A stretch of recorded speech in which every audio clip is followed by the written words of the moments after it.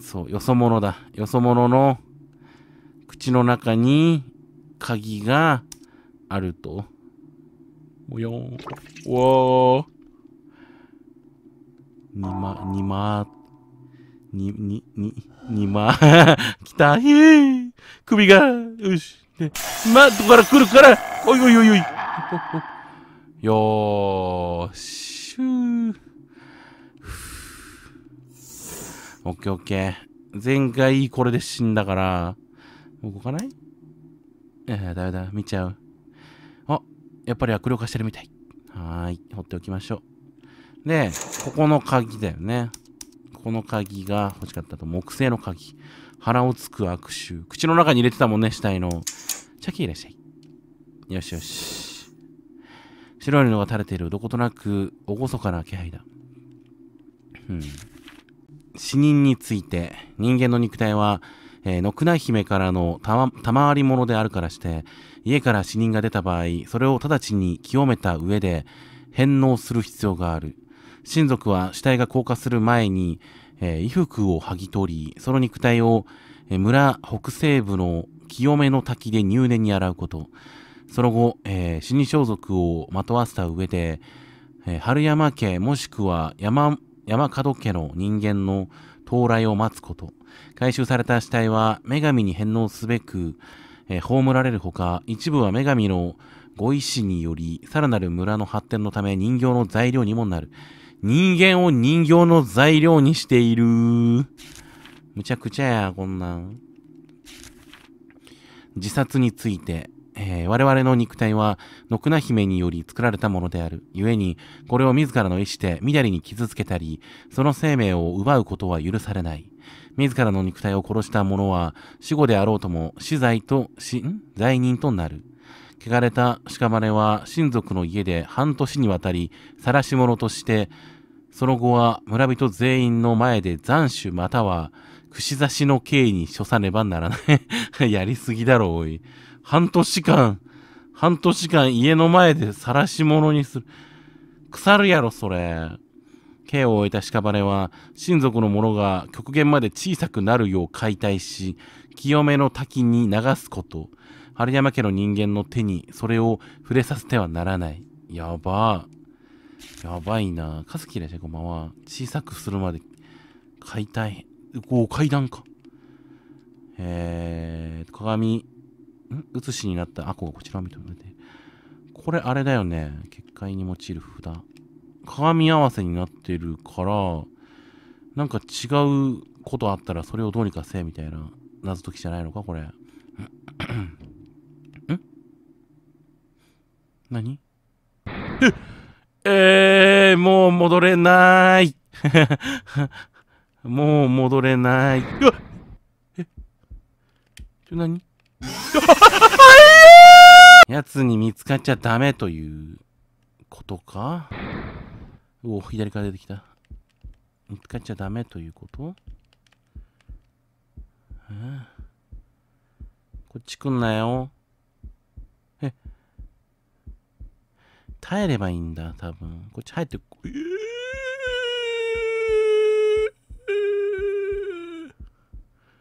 あー？これで、待って、奴が後ろ向いた瞬間に帰ります。そういうことだと思います。えー 動いちゃダメな。これで。うわー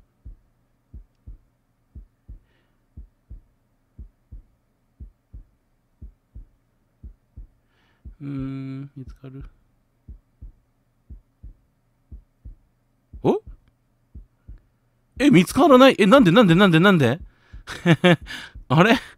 あれ見つかってない？なんで？なんでだ？え？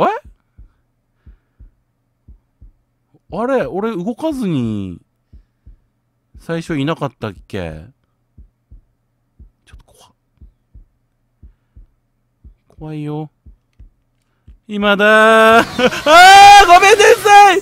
んかしらんけどできたわからんけどなんかできた。わからんけど、なんかいけた。前回どうやってたか覚えてないけど、動いてなかったパターンもやったと思ったけど、まあね、動かないパターンもやったと思ったけど、やってなかったのか、これ。わかんないな、ちょっと。やったと思った。全パターン試したと思ったんだけど。金属の鍵持っていく。まあ、できたからよし。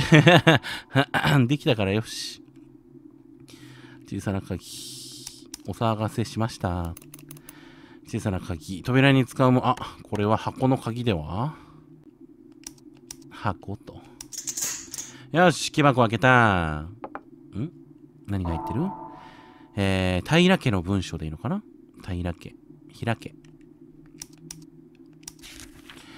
えー、墓について、忠彦様より4つの墓を我が家の、えー、近辺へ移転するよう命令が下った。詳細は理由、詳細な理由はわからないが、えー、忠彦様の落とした紙片に書いてあった内容をそのままここに記しておくとしよう。以下がその内容である？えー、なんだこれ？8?8 と無の中間を2回調べよう。えー、6と 100? の中間を7回調べよう。8と100の中間を4回調べよう。無と100の中間を3回調べよう。されば、無が動き、道は開かれん。全く何言ってるかわからん。わからん。これを見る限り、足の数だとしたら、これが、まあ、8だよね、これ。難しい。昔の 8?8 8と無の中間を2回調べよう。なので、8と無の中間だから、ね、上、上を2回調べる。上の真ん中を。で、えー、6と100。あ、あるわ。6あるね。6と100の中間を7回調べようなので、6と100の中間を7回調べます。で、えー、8と100、8と100の間を4回、1、2、3、4、4回調べて、で、無と100の間、真ん中を3回調べる。さすれば、えー、無が動き、道が開かれん。なるほど簡単だってばよやりましょう。上を、上の真ん中を、1、2、お音が鳴ったで、下の真ん中を、1、2、3、4、5、6、7。で、左の4回。1、2、3、4。すげえ真ん中を、1、2、3。うわ すげえ天才やったね。ううどこに通ずとるの？うー、札が。えー、これ知らないよね。どこ？わあやめてくれなんか、来た。階段。棚か。棚には何も置かれてない土ぼこりが。風化している。ちょっと。うわあおー後ろになんかいる。もう何？今寒気が。もう一前にやれよ、俺を。そんな殺したいなら。泳がす、ああ、セーブ。ありがたい。ありがたい。ありがたいよ。下下下じゃない？どこ？どこまで行かせる気？なんかある。ふう、おひな様について、生きたままの回収が叶ったおひな様について気になる点があります。というのも、倉木優子に連れ出される前と後とで、彼女の思考、行動には明らかな変化が見られるのです。倉木優子はお母さん。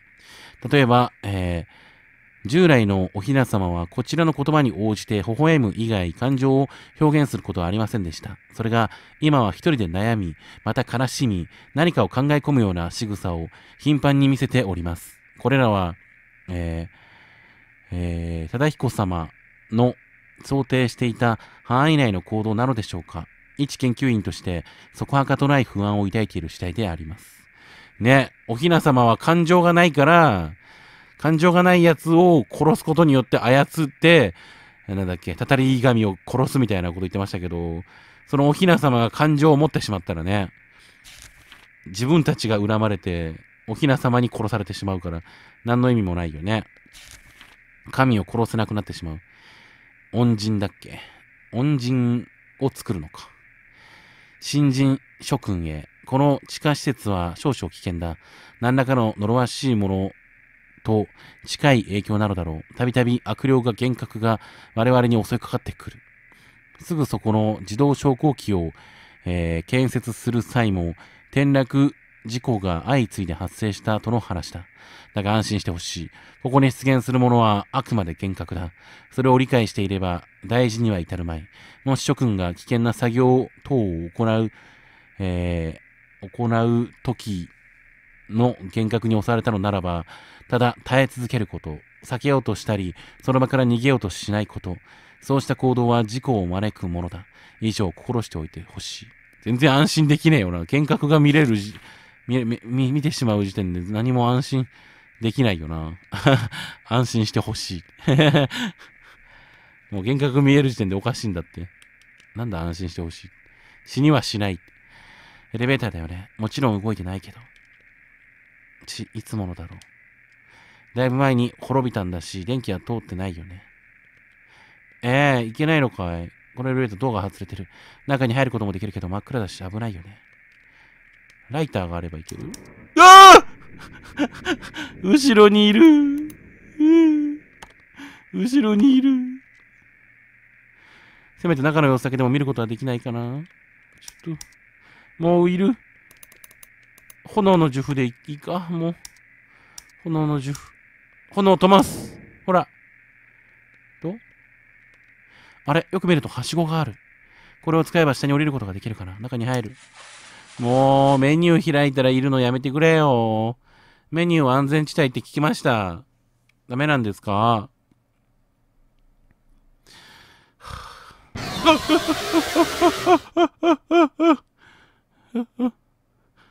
セーブポイントが。あ 手が。あら ね。さっきあの上から怪物が来たから横とかに行っちゃダメっていう。まっすぐ歩け系。うおーやったでも特殊なやつが見れた。やったぞ。特殊な死のやつが見れたからよし。え、なにあ。あー。これが。あーちょっと。エンディングエンディングこれ？もしかして。エンディングじゃない？これ。やってよかったんだよ。あ、だ、ああ、うわーなんかバラバラになってる私。はしご下まで続いてなくない？うおい罠だった。いや、で、これはエンディング。やった結末17、奈落の目。ただ死ぬだけじゃないんだ、これは。この先何があろうと、横に移動しちゃいけない。立ち止まるな。降り続けろ。何が来ようとな。押さない。俺は横に行かない。さっきはセーブポイントだっつってセーブしようと思った。ああやめてください。どんだけ長い。え、ちょちょちょちょ。いける。いけます。え？おすげえ待ってれば治った。いや、一回戻ろうかなって上を押そうかとしたけど。おこの先がエレベーターの最下層みたい。外に出る。おー。いけた。え、でもさっき落ちた時あれだよ。はしごなかったけど、下まで。大丈夫なった？うなんかある。えー、報告。えー、恩人を使いこなしうる呪術師を探せ。とのご命令でしたが、敵各社は見つかりそうにありません。まず、えー、我が村を知り、その上で訪れて良いと考えうる者が希少であること。加えて、そうした人間の中に、恩人を制御できるような力を持った者がいる確率はさらに極小と考えられること。以上の点が、課題の達成を困難なものとしております。提案ですが、恩人は天野家の人間に刺激させてはいかがでしょうか。忠彦様のお力ならば、被害を、ん？彼らを秘密裏に拘束し、我々に協力するよう説得することも可能なはずです。もう説得じゃないよな 命令だろ、これはもう。命を担保にした。なんだ、協力するように説得すること。秘密裏に拘束し。おかしいだろ、もうやってること。おい、やってることおかしいぞ。だから、恩人を操れるほどの霊力を持ったのがお母さん、倉木優子だったっていうことですよね。うん。報告、倉木優子のムクロは損傷が著しいため、当該地点の近くに埋葬しました。もう、殺した、お母さんを。言うこと聞かないから。えー彼女の魂は指示通り回収、我々の人形へと、えー移転させてあります。移転。魂を移転。えー、樹印も刻みましたので、倉木優子の魂が宿った人形を強制的に操作し、その力を我々の、えー未来のために使用することが可能です。ああ、お母さん殺して刺激された。無理やり。最初はね、あの、あれ、アコちゃんの病気を治すために、霊薬、病気を治すための霊薬が欲しくて、その恩人を操るというのを承諾してたけど、ね、その操る対象であるおひな様、ひなちゃんがね、すごいかわいそうだから助けてあげようということで、逃がそうとした末路がこれですよ、これ。ただし彼女の思念は非常に強力であるため、それを塗り替え、支配することは、まではできておりません。当人の意志を残したまま、外的な力で無理やり動かしているとお考えください。樹印の縛りが破壊された場合、危険が及ぶ可能性があります。なるほどね。言うこと聞かねえから殺して魂を人形に移して、言うこと聞かせようと。来る道中にお墓2個ぐらいあったよね、お墓が。どっちだろうね。あーセーブ。お墓2つぐらいあったよね。うわあ、降りる。荘厳な作りの神棚だ。少女を模した人形も置かれている。ここ、まだ降りるの？おおああ、これひなちゃんがいたとこじゃないのひなちゃんのいた牢屋だ、これ。うわあびっくりした。はあ無理やり人形で操ってる？ああ。えーだってこれね、お母さんを模した人形だからね、これ。お母さんのムクロは損傷が激しいから墓に埋められてますから。やってることやばいよな。そっくりな人形を作って、それに魂移して殺させるっていう。ぐっ、いけて。いいよ。大丈夫だから来て。ひなちゃん。村に戻ってね、気づいたの。私確かに、あの、たたり神と会わなきゃいけない。のくな姫って呼ばれてるものと。ああ、こっち見た。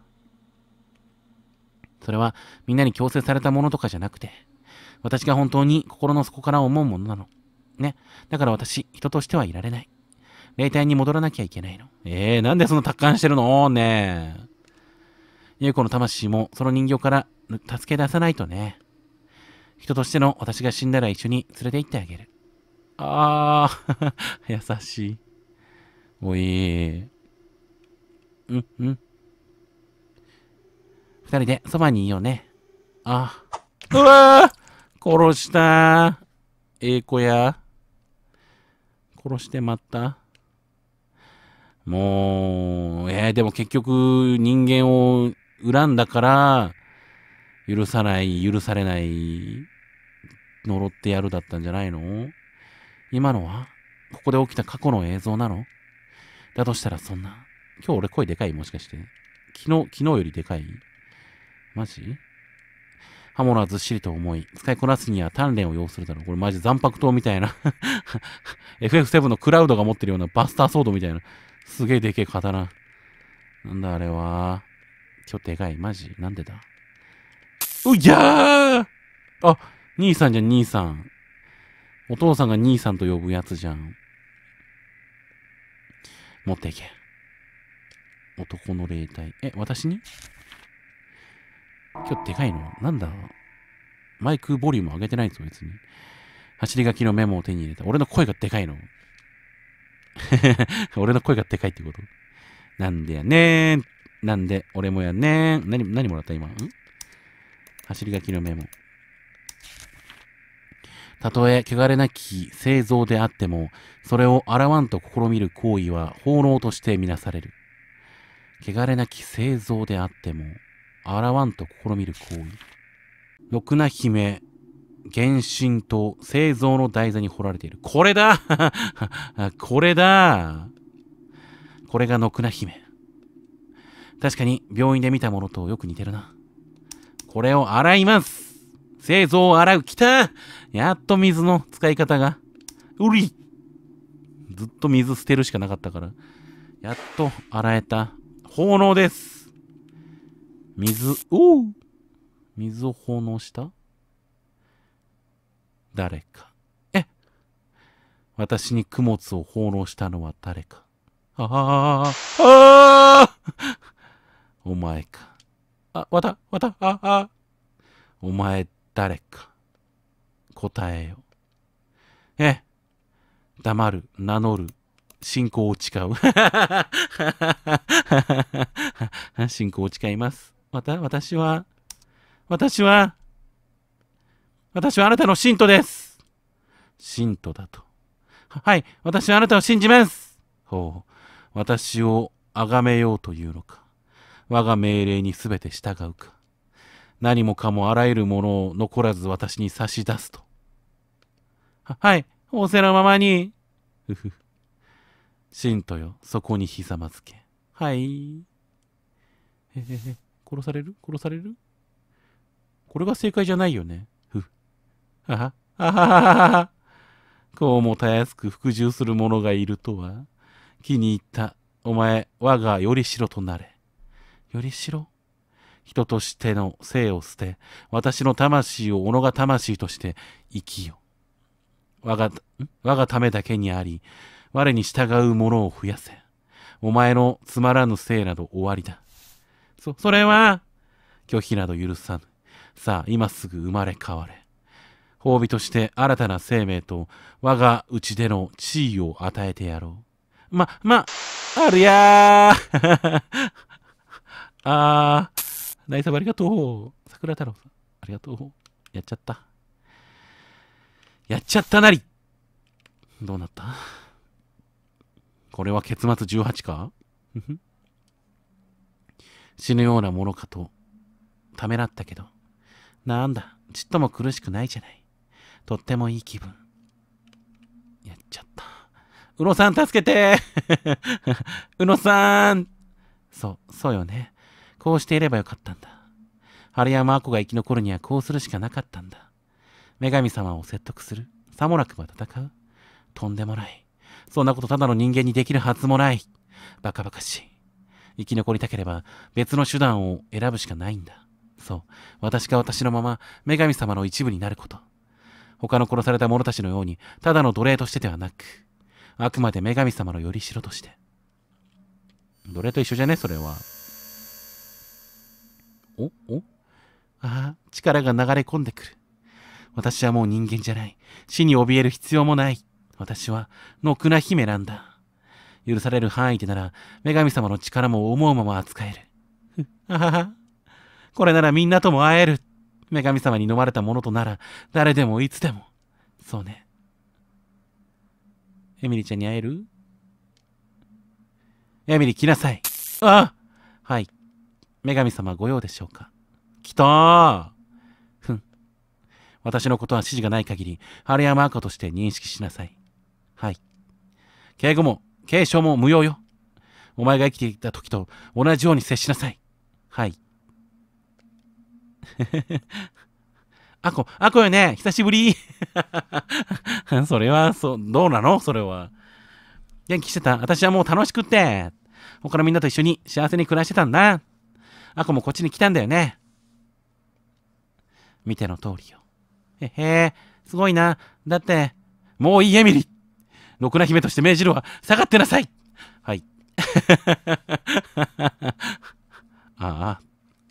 壊れちゃった。関係壊れちゃった。上司になっちゃった。対等な友達から絶対服従の上司になっちゃった。はあ、なんてくだらない。ダメやん。どっちきらしい？そっか。私は、ノクナ姫の信徒を増やすためにあるんだもの。それをすることできっと楽しくなれるのでしょうね。ふふ。作らなきゃ、新しい村を。ノクナ姫を私を崇め、その呪いを世に広げる者たちの村を。反逆も脱走もしないように私が管理し、治める村。あ、私幸せ。早く呪いを広げなきゃ。もう、おかしくなっちゃった。あ、大丈夫？外れてる？大丈夫？手始めにあの男をこちらに引き込んでやろうかしら。そうだ、それがいい。待っててね。宇野さん。宇野さんも部下やぞ。どうせ。どうせ部下やぞ。ええこれは、あ、結末18、新たなるよりしろ。これはこれで、まあいいんじゃないの？そうでもないだろう。これが一番最悪なのでは？友達が、友達じゃなくなりました。悲しい。えー、名乗る、黙る。黙ってみるか。沈黙は金。黙る。言わない。黙殺か。つまらん。いいね。ああごめんなさい名乗ります。私は春山アコだ。私は、私はそのアコです。私は、私の一族はあなたに呪われてるんです。血縁の対象になっています。呪われし者がわざわざ私の前に来たのか。ああ結局殺されるやめて。ま、待ってください。確かに私の一族はあなたの血縁を受けてます。でも私たちは晴山の人間じゃありません。たまたま、その強引に晴山家と接触させられただけで、あなたに対して何かをしようとしたわけではないんです。許してちょんまげ。この通り。ちょんまげちょんまげ。ダメ？ですから、この通りです。どうか何卒お願いします。お怒りを鎮めてお許しいただけないでしょうか私と私のために犠牲になった人たちをあなたの呪いから解放していただけないでしょうかふふ。え？解放？すでにキャツラは解放されている。私の血縁に怯え、いつ死ぬかわからぬ恐怖から、解放されておらぬ者は、もはやお前を残すのみ。なんだこいつあ、あ、あ、おかーんおかーん !36 歳のおかーんお母さんそうよ、アコ。女神様のおっしゃる通りよ。相変わらず服が。私はとっくに解放されている。脱げそう。人間母親くだらないわ。そんなものどうでもいい。とってもいい気持ちなの。ずっと女神様の中にいるから。ポカポカと暖かくて、神々しいお力で満たされるのよ。あの時殺していただいて、本当に良かったって思ってるわ。殺していただいて。やめて。また、何をやめる必要があるの？私はアコのためを思って。違う、お母さんじゃないあなたに言ってるんです私わかってます。これはお母さんの意思じゃないって。あなたが無理やり魂を染め上げただけだって。もうやめてください。茶番はうんざりだ。これ以上私の大切な人たちをもてあそばないでください。あなたなんかに、不敬な。ああ、やめて。ごめんなさい、暴力。また暴力ですかう、警報。ぐがこれが解放だ。お前たちにある唯一の未来。そうよ、諦めなさい。お前は決して許されない。頭を下げれば女神様がお許しになるとでも思ったの？ふふ、バカな女。でもいい子ね。わざわざ自分から来たんだもの。女神様のお手を煩わせずに済むんだものね。決して逃す、許すものか、逃すものか。いや、聞きたくない本当にやめてください。でないと私、私だってふふ。お前が何だというのか。ここ、ん？いかなる恥ずかしめを受けたところで、ただ人になど何もできはしない。そうだな。こうしてやろう。これが嫌なのだろうこうされると泣くのだろうさあ、泣いてみせよ。なになにお母さんを殺す？あ、あ、あ、あ。やめろクリリンみたいに爆発するんじゃないか？ドラゴンボールの。ボカーン クリリン粉々に。お母さんでもそうしたら怒りでスーパーサイヤ人になれますからね。スーパーサイヤアコに。うわああうが。ガグエ。お母さん。いや、痛い。怒れ、怒れ、アコ。お母さんしっかり。あ、あこ、なんで、に、逃げ、また、あー。何？黒？何？黒いよ？黒くされた。どういう罰それ？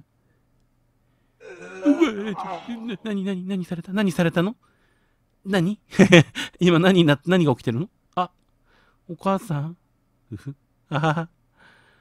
女の魂を握りつぶしてやった？もはや原型などとどめているまい。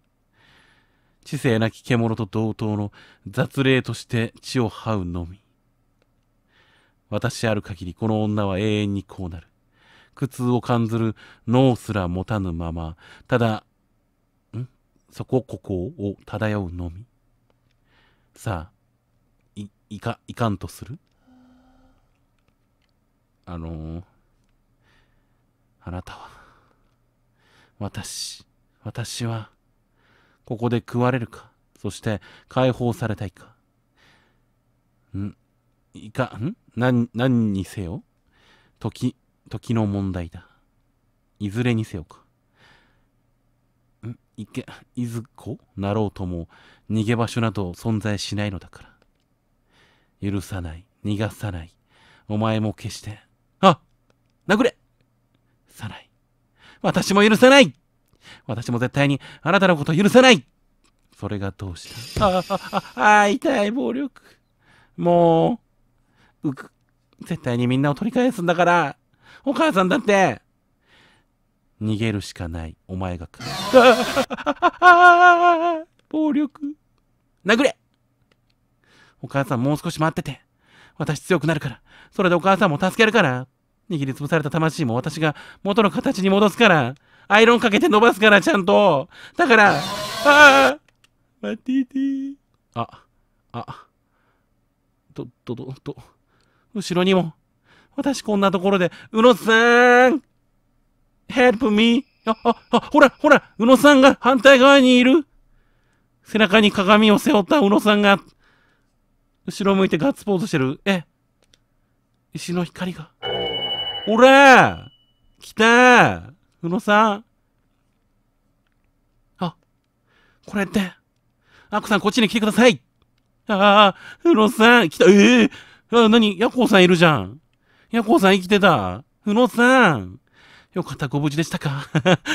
山に置き去りにされた宇野さん。一人山に置き去りにされた宇野さんじゃないですか。話してる暇はない。退却するぞ。へえ、戦わないんですか？みんなで一斉に殴ればどうにかなりませんか？肉弾戦で。ダメか。交代でタッグマッチで、トリプルマッチで。疲れたら交代しよう。おっしゃ、俺が行きます。じゃあ次は。パーンって。ダメか。3対1でボコれば、勝てんか。無謀なことをしていたら。だって何も、プラン、ノープランで行ったから、謝るしか。いや、この村へ単身乗り込んだ時点でそうか。村に行け言うたやんけ。だって、ヤコウさんが言うたんだよね。村に行け。つって。そうする他にないくらい追い込まれた状況なのも確かだが。ともあれ君が無事でよかった。ええ、本当に。本当によかった。アコさんが無事でよかった。大丈夫なの？この村だってあれだよ。なんかね、なんかベテランの腹石のおばちゃん、突然出てきて突然邪魔してきたあのおばちゃん。あのおばちゃんですらね、一瞬で悪霊化したのに。宇野さんとヤコウさん大丈夫なん？レベルが違うあのおばちゃんとは。ヤコウさん。宇野さん。私。よかった。てか、強い。村の中でもあれなんだね。あの、おにぎりと鏡は合わせれば強いんだね。私。大丈夫。大丈夫ですよ。俺たちはちゃんと生きてますから。ヤコウさんも、それにかなこさんもみんな無事だったんです。かなこさんも危ないところだったかね。かなこさんはどうしたの？あの家に備え付けた地下室から命からがら脱出できたよ。そんなのあったんだ。そんなのあったんですね。かなこを入院させ、うろくんと合流し、急いで村へ駆けつけてみれば。かなこさん大丈夫？普通の病院で今入院してんの？君が今まさにたたり神へ飛びかかろうとしていたところだ。やっぱ最後は肉弾戦よ。爪で引っかくしかない。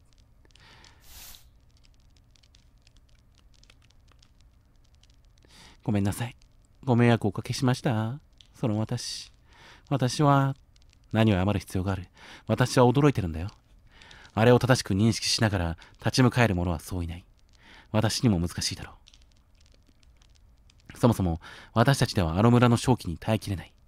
私の除霊具や彼の霊鏡、装備を固めても数分が限界だ。マジで？数分？きつ、数分か。君はおそらくはるかに長い間村にいたのだろう。無謀ではあったが、確かに素質があるようだ。素質あってもな、勝てなきゃ意味ねえよな、結局。なんかくれよ、ロケットランチャーがなんかねえのか。レーグロケットランチャーないのか。ねえ。お払いロケットランチャー。札、札をいっぱいつけとけばいいんじゃないのか、ロケットランチャーのたまに。あかんか。君の言葉を聞いていた。たたり神に囚われた魂を自らの手で解放するのだと。アイロン、アイロンでね。その意志に変わりはないか。あれの有する力のほどは体で実感できたはず。その上で、君は今もたたり神に立ち向かうつもりか。立ちむ、どうやって立ち向かえばいいの？ねえ。ゾンビだったらね、ロケランで一発なのに。はい。たたり、たたり神とかどうすどうやって倒せばいいのね？私確信しました。あれを放ってはおけない。あのたたり神は呪いの拡大を心の底から楽しんでいます。あれは払われるべきものです。で、でも、アコさんが危険を課さなくても、じゃあやってくれるのかじゃあ、おい、数分しか耐えられない。雑魚め、雑魚め。助けに来てくれたのに 数分しか耐えられる雑魚が。やってくれるんか、おい。それこそ、ヤコウさんのような強い人たちをたくさん集めて、そんないっぱいいるの、ヤコウさんみたいな。ヤコウさんをあれ、クローンで増やせばいいんじゃないね。頑張りましょう。十数年はお母さんが耐えてくれるらしいので、その十数年の間にヤコウさんを増やそう。死ぬほど。ヤコウさんのクローンをいっぱい作って、えー、レーグもいっぱい集めて、作ろう。そうすれば、10年のうちにね、ヤコウさん、ヤコウさんを1万人ぐらいクローンで製造して成長させればいけるのでは？壮大な計画 十数年間お母さんが守ってくれるから、確約されてるからね、安全が。その間にどうにか、夜行クローンズを作りましょう。アコさんにもしものことがあったら、全員修行させるのか。そう。ありがとう。死ぬために製造させる。めっちゃ金かかる。ヤコウさんお金持ってっから。自分の金で自分のクローンを 作らされるヤコウさん。辛いだろうな。アコさん、ね、自分のポケットマネーで自分のクローンを作れという無茶ぶり。でもね、私わかるんです。これは私がするべきことだって。私はあれに呪われています。戦わなくても、いずれ殺されます。だって今現状戦えるの私だけでしょだって。ヤコウさんもね、宇野さんも数分しか持たないらしいからさ。まあだから私以外みんな雑魚ってことですね この世界の人類。私だけが最強。私、安倍の生命の娘なんで。あれは私が逃さない。どこまでも追いかけてくる。ね、現代にタイプタイムスリップしてきた安倍の生命の娘だから、血縁の、えー、根源がある限り、未来は決まっているんです。そんな自分だからこそ、呪われてるからこそ、自分のこととして戦える。私そう思うんです。いや、マジで未だにお、や、あれ、アコちゃんのお父さんの存在がわからんからね。ねえ。そうだな。君にかけられた血縁の呪いは、ある局面では武器になるだろう。あのたたり神の中に、君の仲間が数多く囚われてることもだ。そうか、私のね、まあ、育ての親とか、あこちゃんもいるし、逆に、ね、彼彼らの魂を解放できれば、味方になってくれる？ってことなのかな。仲間が多く囚われている。私は他の払い師では、奴らに、彼らに対して働きかけることができない。君こそが適任かもしれん。取られた仲間を取り返すんだ。そして利用するんだ。利用する。手駒として利用するんだ。いけ、エミリ 噛みつき攻撃はい。だから、今の君が生身で戦えば結果は見えている。じゃあどうすればいいんですか？じゃあ。一瞬で潰されて終わりだ。生身でってことはどういうこと？私も武装すればいい君はまず力を求めればならない。いや、君の中に眠る力を導いてくれる守護霊と言うべきか。守護霊。エミリーちゃんでいいんじゃないの？守護霊。エミリー。でもエミリーは取られてるからダメだな。誰にするかじゃあ。宇野さん守護霊になる？たたり神と戦うならば、何としてもそれが必要だ。宇野さん生きてる状態だと数分しか耐えられないから、ちょっと一回死んでもらって、守護霊になってもらって そうしたら使えるんじゃない？はい。キャラヤ村を駆け抜けた時、一瞬だけ目にしたんだ。あれ、そういえばあれは、なんだっけ？女の人はなんだっけ？名前忘れた。青い髪の。あの子はどうしたんだ？白い服を着た黒髪の少女。それは、綺麗だったよ。どこまでも白い霊気だった。それはひなちゃんじゃないのかい？まるで文字通り人ならざるものような。あ、チクラさんだ、チクラさん。おひな様。はあ、あのよどんだ正気の中でも澄んだ色は保てる彼女なら、あるいは君の心強い味方となってくれるのかもしれない。あれだよ、第3部の終わりで、ねえ、浄化したひなちゃん、おひな様を逆にこっちが、ねえ、味方になってもらうと、今まで散々3章まで追い回されたけど、たたり神の下僕として。でも解放したからね、もう。いけるぞ、これ。なんとかして彼女と交信を試みてみるんだ。そして力を貸してもらうといい。おそらく彼女ならば再利用してやろうと。言い方 ちょ。みんな言い方がちょっと辛辣になってるよ、本当に。協力してもらうんだから。ね、手駒として使うんじゃないですから。仲間ですから、俺たちは。それからこれを渡しておこう。本当に雑魚とかさ、雑魚とか利用とか、よくないよみんな。言葉が荒くなってるよみんな。好戦的。なんだこれ。レポート9、名を手に入れた。俺が言ってる。俺が言ってた。嘘。これは？ちょ無意識だったわ。無意識だったわ。無意識に。無意識にだったね。私にはまだ、えー、詳細な情報はつかめていない。しかし、君の血筋は、もしかすると、とんでもないものかもしれない。ほら、やっぱり、安倍の生命。仮にそうであるならば、これが役に立つこともあろう。マジで私のお父さん誰なの？わかりました。ありがとうございます。父方だよね、多分。霊力がすごいのって。お母さん側じゃないよね。私たちにできるのはここまでだ。君と違ってあの正気の中を歩き続けていられないんでね。これから私と小野くんとで村の周囲に陣を書く。少しでも村の正気を薄らさせるための術式だ。私たちにできるやり方で君をフォローさせてもらおう。アコさん。宇野さん。生きてもう一度会いましょうね。はい。絶対に。こんなところに来てくれたね、宇野さんね。お父さん何者なんだ、マジで。この中にいれば安全結界だから。みんなありがとうございます。礼には及ばん。それよりも必ず勝つんだ。俺も待ってますから。はい。では行ってきます。レポート読みたいな、早く。ハコさん。やはり彼女は強くなった。初めて見た時の様子とは何もかもが異なってる。やはり彼女の血が目覚めたのかもしれないな。それは、まだ私にもわからない。彼女を見守ることにしよう。さあ、我々も行こうか。出て大丈夫ねね悪口の悪魔が口に 宿ってるかもしれん。悪口の悪魔が。フラグか？お父さんがビッグネームだったら私、強い？誰なんだろうね。でも、陰陽師とかそういう感じだとなんか安倍の生命ぐらいしかいなくない？他になんか有名な人いますね。ヤコウさんはおひな様を村で見たことあると言ってた。近くにいるのかな？もう少し村を探ってみよう。まだ入ってない家もあるし。あったっけ？でも、陰陽師といえば安倍の生命だよね。他知らなくない？足や、どまー なんかいたびっくりした。足やどうも、来たろ。来たろ。えー、待って。入ってない家ってこっちじゃないもんね。逃げない。自分の力で血縁の呪いを解決するって決めたんだから。待っててください。宇野さん。ヤコウさん。はーい。足やどまーん。なんかいっぱいうろついてますよ。行ってないとこってどこ？にゃっさにゃっさにゃっさにゃっさ。にょっそにょっそにょっそにょっそにょっそ。うっそ、うっそ、うっそ、うっそ、うそ。えー、入ってない家は。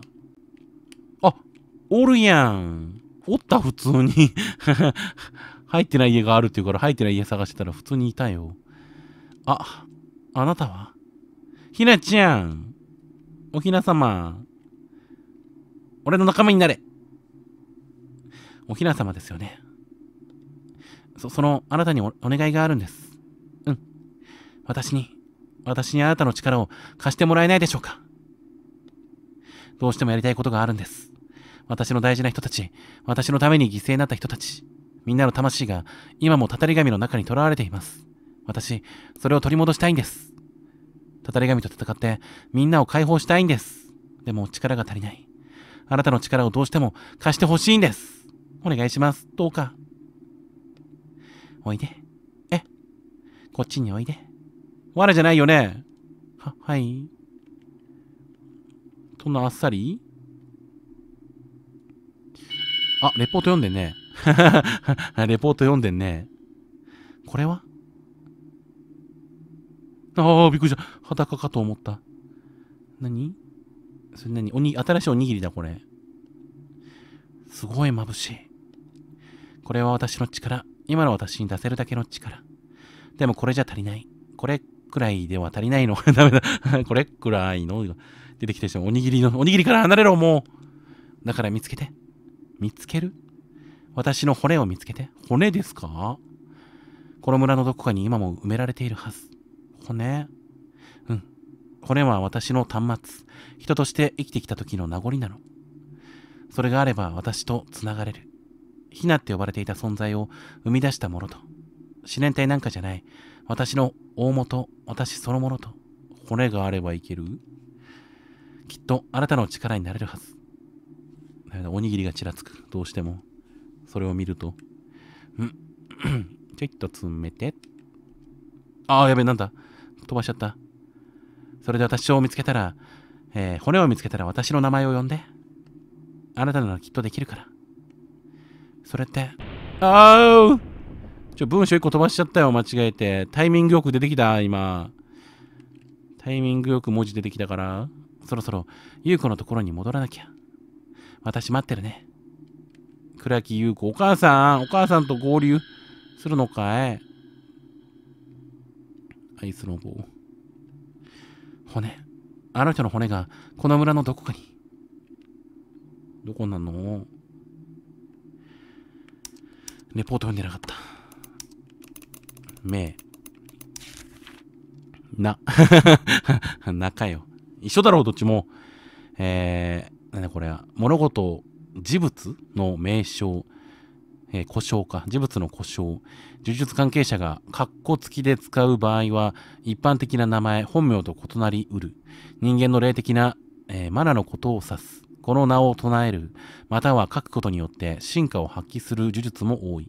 すべての人間は名を持っている。これは出生時に決まり、生涯を通じて変化しない。大抵の場合、現代人の名はそのものが出生時に有していた使命と同一である。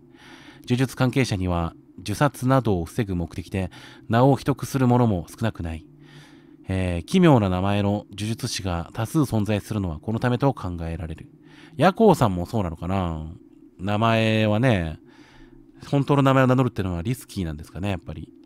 受殺されないために。うん。おお橋かかってる。橋かかってる。わっとばいうぎーもう、すごい匂い。刺繍ともまた違うような。ドギャーもう腰から下がえぐり取られてる。服装からして村外の人かな。この人もすでに正気と同化してるみたい。もうみんな。ドッヤーレブルブルブルいやいやいやいや。死ぬて、それは。それは死ぬて。ドパもう、怖い。今だおお。ゴリ押し。ぬぬ。えー、泣く泣き様の歴史。泣く泣き様は何百年も前からずっとキャラヤ村の人たちを見守っておられました。時には村の人と生活し、私たちをご覧になることもあったと言います。こんな風に遠くからみんなを見守っておられた泣く泣き様ですが、忠種様のお父様のそのまたお父様まであられる、えー、高明様がありがたき、ありがたいご祈祷で、いつも泣く泣き様とお話ができるようにしてくれました。今のように泣く泣き様のことをみんなが聞けるのは、えー、声か。声を聞けるのは、えー、た、高明様の、えー、おかげなのです。高明。日に光で秋なんだ。高明。うーん。うん。儀式の本。子供向けのひらがなの本。これ、家の和室にあったタンスと似てるな。何かをしたら扉が開いたりするのかな。でも、この配送に電気が通ってるはずもないよね。うん、奥から湿った土の匂い。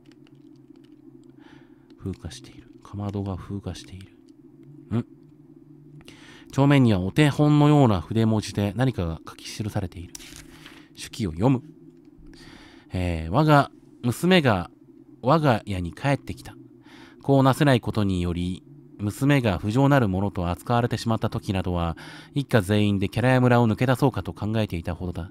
露見した場合のことを恐れて結婚はできなかったが、しかし、我が娘は忠彦様に気に入られるという、私にも考えつかなかった手段によって、その身分を回復させていただくことに成功した。これ、あずささんだ。お母さんだ。春山の。ね、お母さん。36歳お母さん。なるほどね。やっぱ子供ができない体質だったんだね。なんか掟を破ったとかじゃなくて。うん。何はともあれめでたい。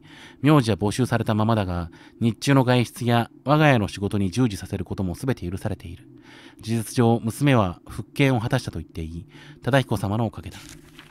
うーん。なるほどね。でも名字は奪われたままなんだ。一番下の段に薄汚れた無知のようなものが入ってる。無知お母さん無知使う？何かの標語。この家は子供向けの学校みたいな場所だったのかなうん。ちょっと鼻詰まってるかもしれないね。咳も出ちゃうし、ちょっとダメだね。宇野さんのリュックに入ってたものと似てるな。何か？登山用具か。紙棚。生臭いものが垂れている。ロイヤルよ、これ。扉には鍵かかってる。力ずくと開けられそうにない。え？ー、どうやって開けるんだ？金属製の装飾がぶら下がっている。魔除けの意味を持つ。ねえ。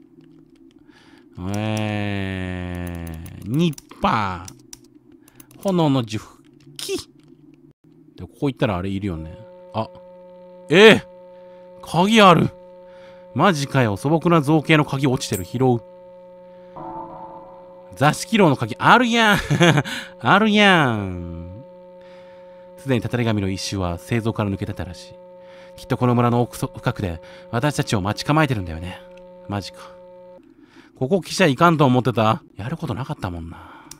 早く行けばよかった。座敷の鍵。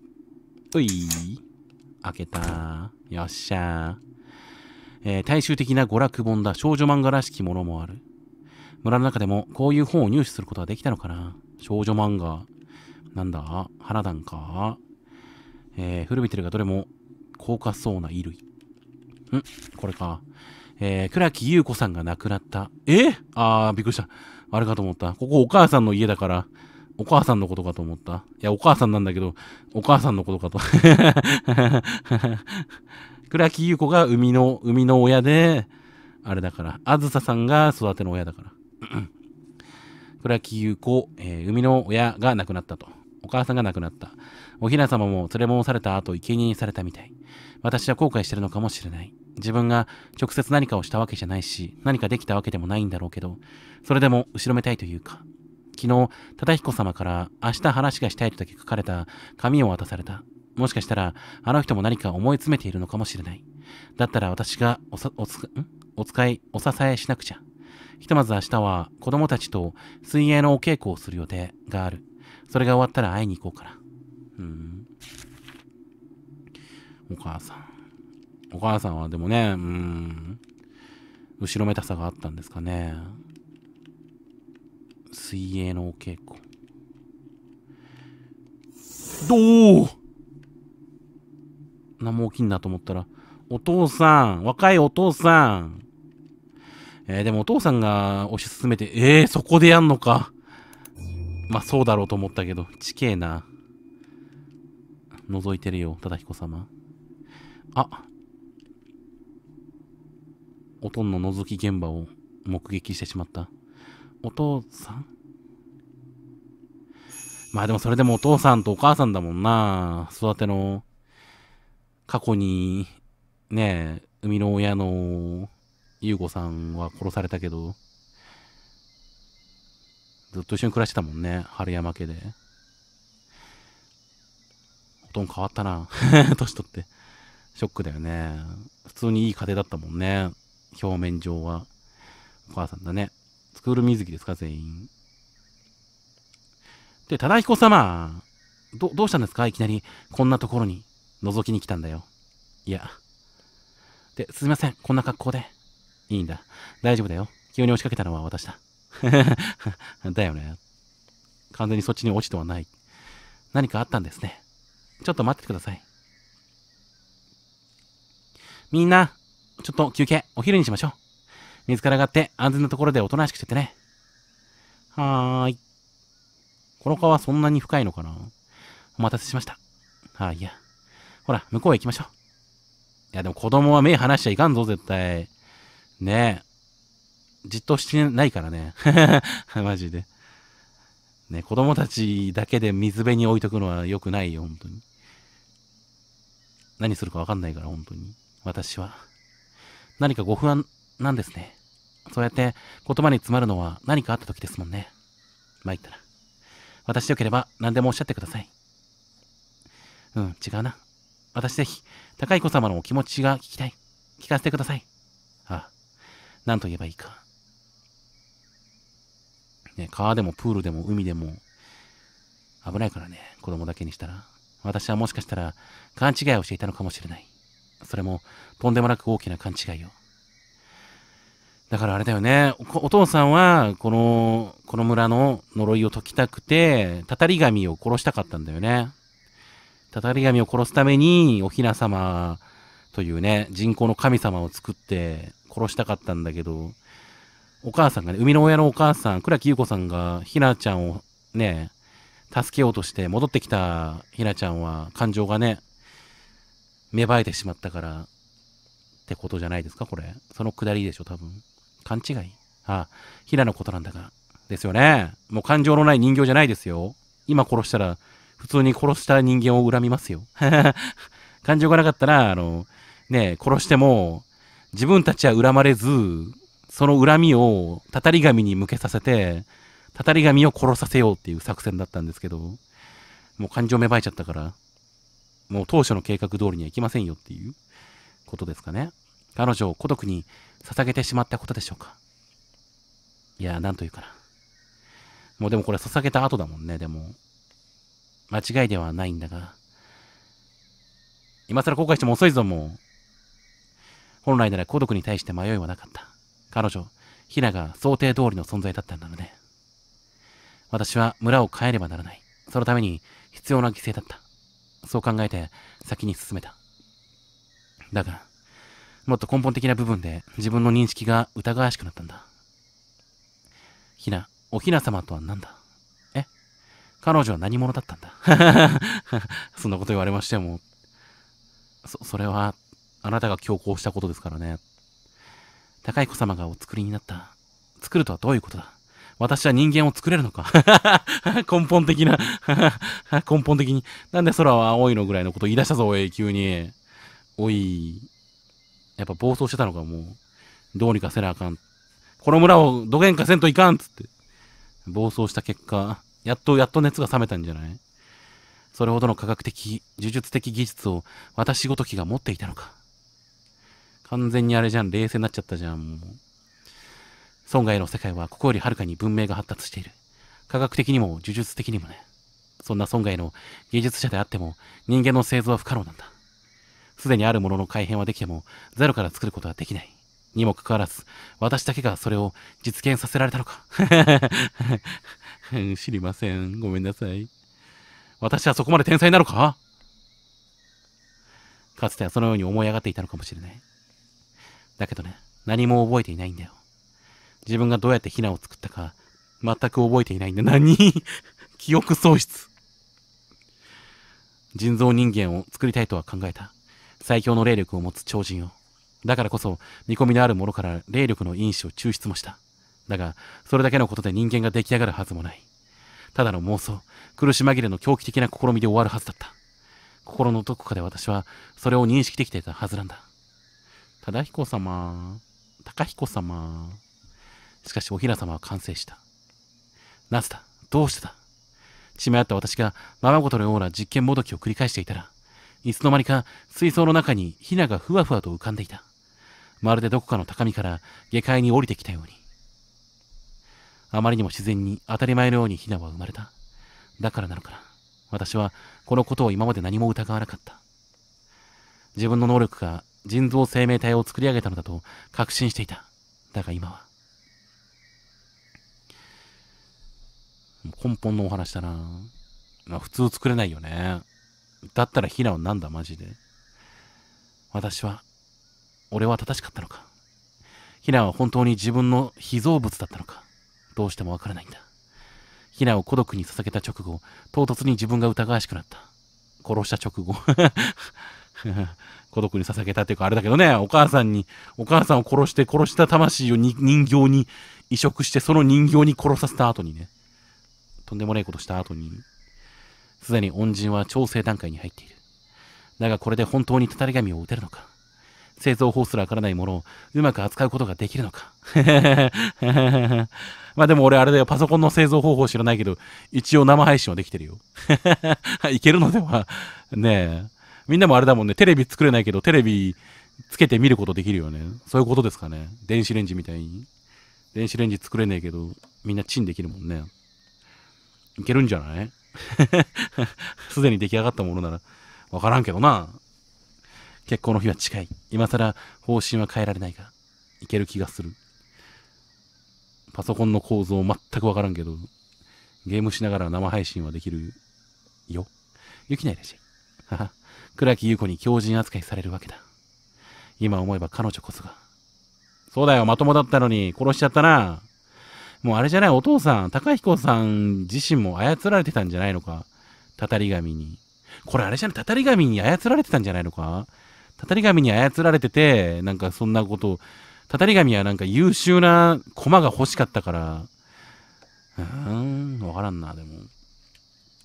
ここでくっちゃべっててもわからんから、ストーリー進めよう。ごめんね。ごめんね。ミラーわからん、俺も。高彦様。私。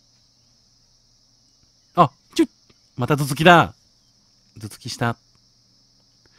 私はそんなに賢くないです。高彦様のお悩みもきっと半分くらいしか分かってません。でも怖いんですよね。ご不安なんですね。それは痛いほどに伝わります。あなたも生まれ持った宿命とずっと戦ってこられたのですよね。あずさ、おそばにいますから。計画がどうなっても、村がどうなったとしても、この先何が起きたとしても、あなたのことを見てますから。ふむ、なるほどね。ありがとう。まあでも結果失敗するんですけどね、もう、ネタバレすると、ネタバレすると、ま失敗してなかったらこの世界は起きてませんから、ゼロと同じでね、儀式が失敗してなかったら、美女が、ね、廃村に赴くこともないわけだ。今のは、お父さんとお母さん。でも浮気するんやろ？浮気するんやろ？あれは本当浮気だったのかね？ようわからんよな。どういうことだろう？でもお父さんは一応、うん、改心じゃないけど、お父さんが呪われてたとしたらお父さんの呪いは解けてるよね。目は覚めてるよね。私は今まで一体何をしてたんだみたいな。いきなり正気に戻られましてもって感じだけど。おひな様はお父さんが作ったわけじゃないってこと？だからもう、この感じだと完全に親父も操られてるよね。駒として。うーん。次はどうするんだうん。ああいやそんなー。うん。イエーあ危ない。もういい開いた？開いた？開いてる。何かして開けるんじゃないんだ。蹴破られるのを待つんだったんだ、これ。大きく開けられた穴の向こうに地下への階段がうっすらと見える。なんだか異質な気配がする。長期が濃いのは確かだけど、それ以外も混じってるような。この家あれだからね、あずささん、お母さんの家だからね、これ。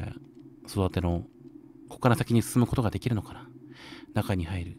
えー、マジであずささん、お母さんの、お母さんが黒幕ってことないよな。だとしたらやべえぞ。やべえ作詞だぞ。だってお母さんはね、お父さんに気に入られることによって、あれだから、あれが復権したからね。子供ができない体で、うわ子供ができない体でね、ねえ、罰として名前を取られて、えー、家に帰ってこれなかった。えー、復讐のためにお母さんがやったとかじゃないよね。やだよ。コッパ道に言われた壺だ。牢獄。待って。持ちたくない。腐食はしてないみたい。持ってったら役に立つかな。重そうだし、まあいいかな。重いの？場所が分かってからでいいか？木の板。いや、持ってっか。重いけど。頑丈な木の板。遅くなる足。あ、遅くならんやん。じゃあいいや、全然。じゃあいいや。あ、ちょ、ちょ、穴が、もう。牢獄。神棚の輪郭浮かび上がっている。えー、なんで学習塾の、学習塾？学校、ごー学校の地下に地下牢があるの？お母さんは復讐を誓ってもおかしくないからね。うこの神棚他のものとは違う雰囲気を感じるな。えー、お母さんなの？えー、いや、お母さんっぽいな、なんか。フラグ。式を読む。で、お母さんが黒幕でね、あそこでお父さんにキスしてるんだとしたらもうやばいよ、本当に。この力は、かつては、ノクナ姫を、えー、祀るための祭壇だったらしい。えー、高彦様の曽祖父である、えー、高明様の、えー、代に祭殿が移され、使われなくなったこの場所を牢屋として再活用したって話だ。曲がりなりにも聖域だった空間をあろうことか牢屋にしてしまうというのは、いささか冒涜的な気もするんだが、春山家としては問題、猛満体と判断したのか？え、これ、え、猛満体？え、無問題って猛満体ですよね。なんでいきなり猛満体出てきた？猛満体と判断したのか？よくわからねえ。え無問題？無問題でいいのこれ？猛満体だよね。それはともかくだ。えー、元祭殿という関係上、ここの床下を漁ってみると、たまに古い書物を見つけることがある。昔、猛満体っていうね、映画あったよね。あれ、ナインティナインの岡村さんだったっけ？猛満体。見た気がするぞ、ドラマ。みんな知ってました？無問題で猛満体と読みます。どこの言葉だっけ、これ？えー、床下を漁ってみると、たまに古い書物を見つけることがある。いずれも、ねえ、ノクナ姫伝説にまつわるものばかりだ。驚いたことに、そこに記された古い時代の女神様は、えー、生贄を要求しないんだよ。映画あったよね。岡村さんだよね。えー、ノクナ姫は古くからこの地を見守っておられた。それは我々の古い祖先が生贄と引き換えに我々をお守りくださいといった契約を交わしたからだ。だから、生贄を欠かしてはいけない。うん、10人とか14人とかね。えー、俺を含めた全ての村人は上記の教えを伝えられながら育ったはずだ。ってのに、それとはおよそ正反対の内容が古い書物には記録されている。これは一体どういうことなんだ？旧来の生贄を要求しない村人をただ慈しんでくださるだけの野倉姫。仮に書物の内容が事実だったのなら、女神様はいつ変わってしまったのだろう。そもそも、今の俺たちが崇める女神様と、書物の中の女神様、本当に同じ存在なのか？ええ、野倉姫はあれなの、生贄を求める存在じゃなかったってこと？正反対の、慈しむ人間を慈しむ神だったってこと？野倉姫。なんだ？正反対のこと書かれてるって、書物に。そっちが本来だった？う何これ？手があるよ。ダイヤル帳がついてるけど。わかんない。いや、わかる。んー、6桁えー、えー、1 9 8 8 06 ああごめんなさいごめんなさい間違えましたごめんなさいおめえの誕生日入れてんじゃねえよっていうこと？何？ごめんなさい。ごめんなさい。どこここ？白い布が。大量の薬がずらりと陳列されている。これ怖い。うぅ怖い。能面あまりいい印象はないな。えー、女面の裏に、えー、見影様あり。見影、ん？わからん。えーと、施術はえー、何これ？すべて映像に、生むべし。収むべし。収めるか？対象を拘束する、えー、様子は必ず、えー、縁の、縁の上、縁の下。えー、なんだこれ？に、えー、位置すべき。わからん。なんて書いてある？ん？腐食したえー、柵がぐらぐらと揺れている。だいぶ戻ってくなってるようだ。壊せそうだな。だとしたら。こちら腐食しておらず。えー、祭りについて読めないよ。匠いらっしゃい。えー、祭りについて月に一度、えー、村東部にある祭殿の中で孤独の祭りが行われる。孤独の生贄をほふるほか、えー、制御下に置いた霊体を喰らい合わせる重要な儀式である。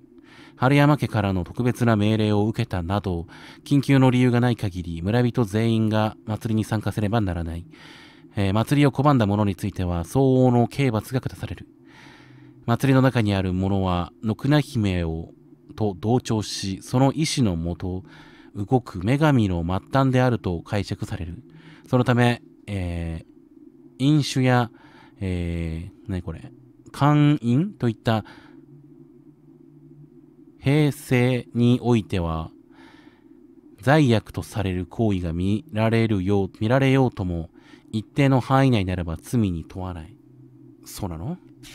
無罪方面ってこと？うん、まあ、来ていらっしゃい、みんないらっしゃい、ありがとう。古い書物、暗示についてのものらしい、書かれている内容は難しくてよくわからないな。施術の記録といった冊子が暗示されている。読まないの？あ、ボーン、へへへ、ボーン、あ、ボーン、ボーン、ボーン、ボーン、よし、へ へボーン、ボーン、ボーン、ボーン、ボーン、ボーン、どうしよう。ボン、ボン、ボン。これをどうにか壊さないとダメだよな。ハンマーとかないとダメか。で丈夫な木の板どこで使うんだ？あ、上か。あ人形が見たもう、あ、わからぬものはわかるまで改め続ければよい。それが道人の探求である。なんじゃそりゃ、亡くなった人の遺言？それにしては、文字の漢字が比較的最近に彫られたような。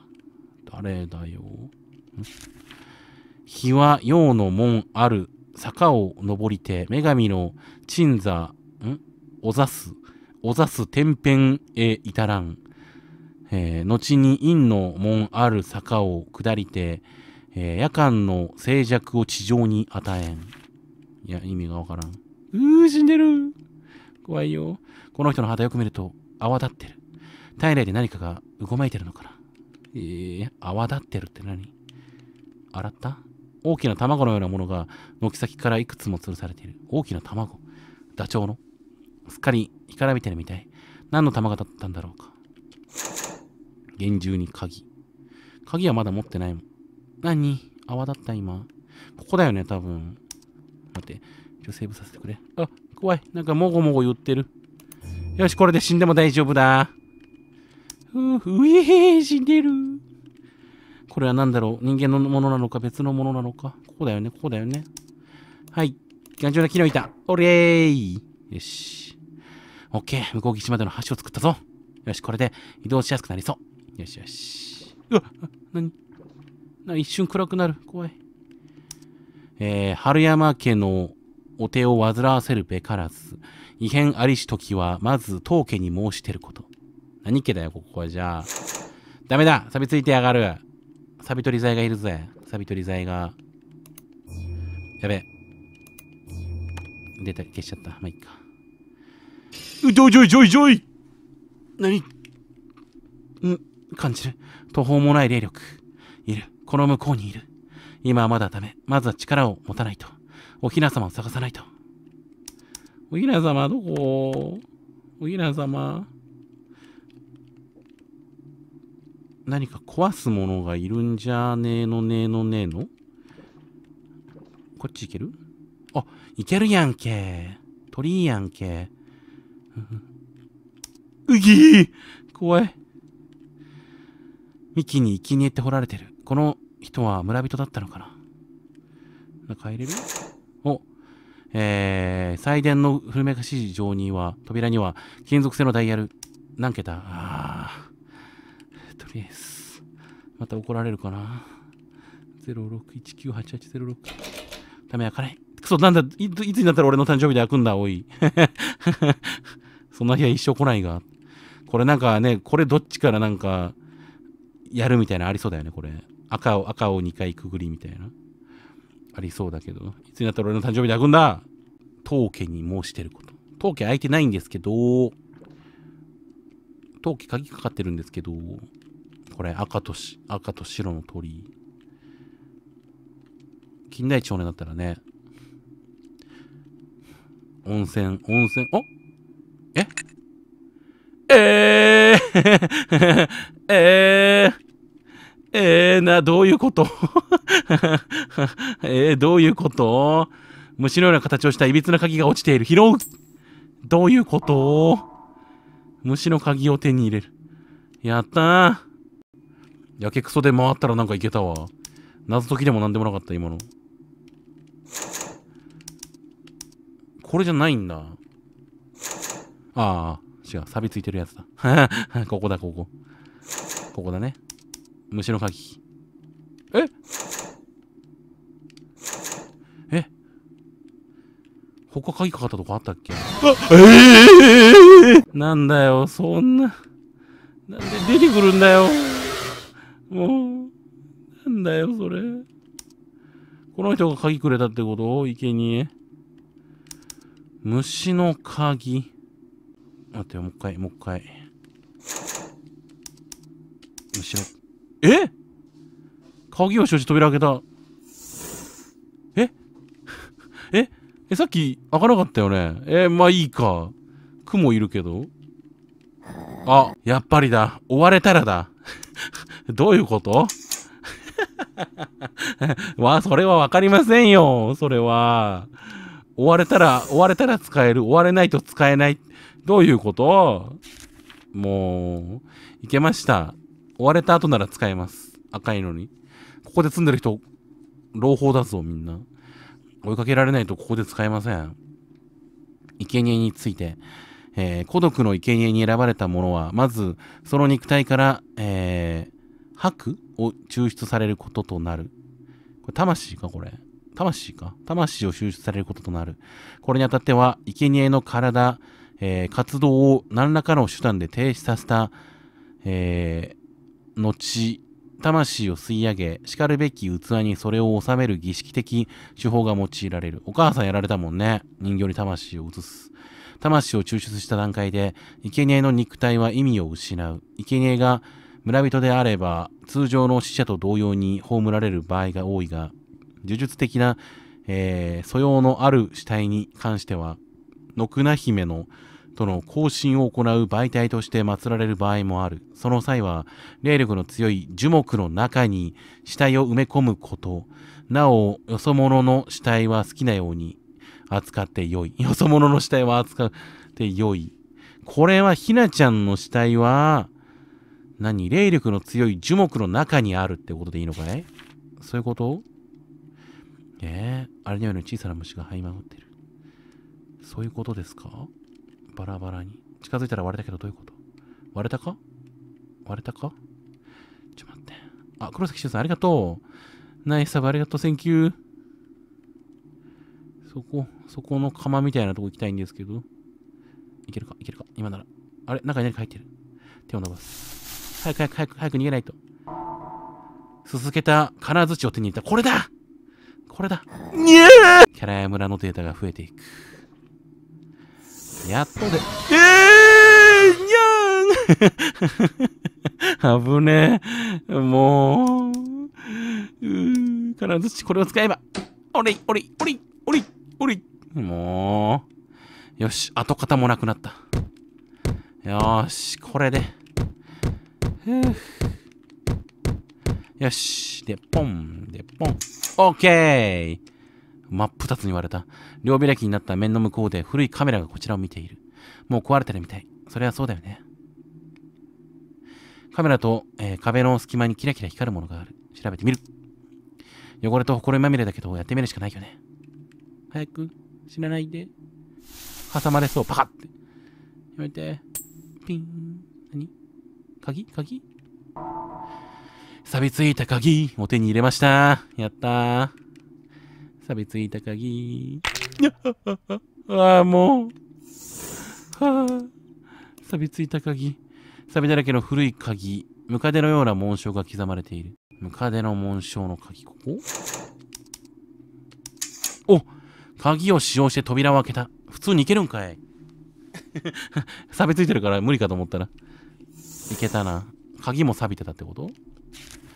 えー、定められる断りに、えー、従い、光得ること叶わぬ場合は、えー、力と物量の2者を持って、えー、その突破、それを突破することもかなり。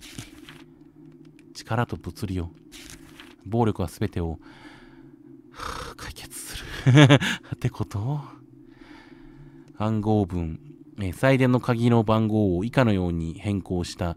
万が一、他家の者どもがこれを目にしても問題が起きぬよう番号そのものは書き残さずそれを刻んだ地点のみを記すにとどめる。1大島家の神棚。2、えー、冷蔵の、えー、見つめたる先3、えー、平家のいろり。いろりあったな。4、えー、世良家2階の棚の奥。5人間とえー、川崎家の、えー、虫の横、えー、6、えー、当家1階、梅の間の着物。だってさ、まあ、数字。今隙間から、もう、やめてよ。生々しい匂いがする。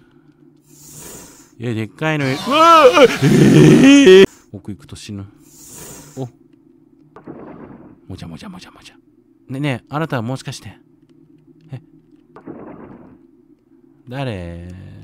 生き量はあ、携帯電話や音楽プレイヤーなど現代的な機械がいくつも収められてる。なんで？すべて押収品。ああ、村に来た人を殺すのか？あ、大量のえー、出生届の中には、あずさと書かれたものがある。名字は消されて読めないな。大量の出生届、あずさ。何それ？孤独の執行に関する手続き。この家に住んでたのは偉い人たちだったのかな？なんか誰か死んでません？また。えー、仮名の一覧と記された書物が物々しく安置されている。これなんとなくだけど大事な書類なんだろうな。紙を拾う拾います亀の一覧を手に入れた。多い。おー、えー、亀の一覧。春山家、キャラヤ村の主、すべての孤独を指揮する。山門家、大和家か。山門。角とは読まないか、俺今まで読んでたけど。大和家か。大和家、村人の管理を担う。春山の次に地位が高い。えー、天野家、結界と祭りの管理を担う遺伝的に霊力が強い。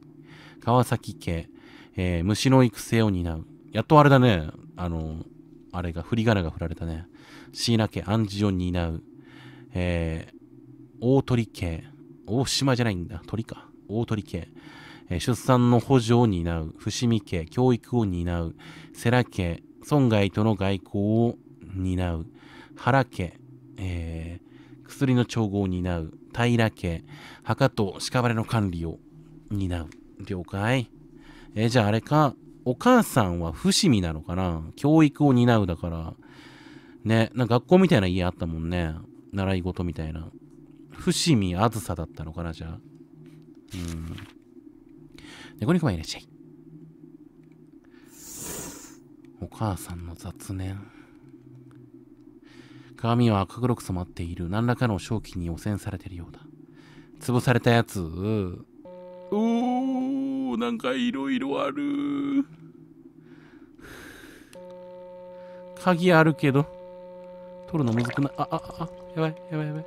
もう鍵、鍵、鍵欲しい。はい、はい。黒光りする鍵。国鉄の鍵。はい、はい、はい、はい。はい、はい、はい。ああ、ごめんなさい、ごめんなさい。いやー。あ、あ、いけなくなった。はあ、あえてこの先に行く必要はないよね。せやな。せやな。セーブや。セーブするんや。国鉄の鍵。えー、鉄塊のようにずっしりとした鍵。光にかざすと黒々とした輝きを見せる。だってさ、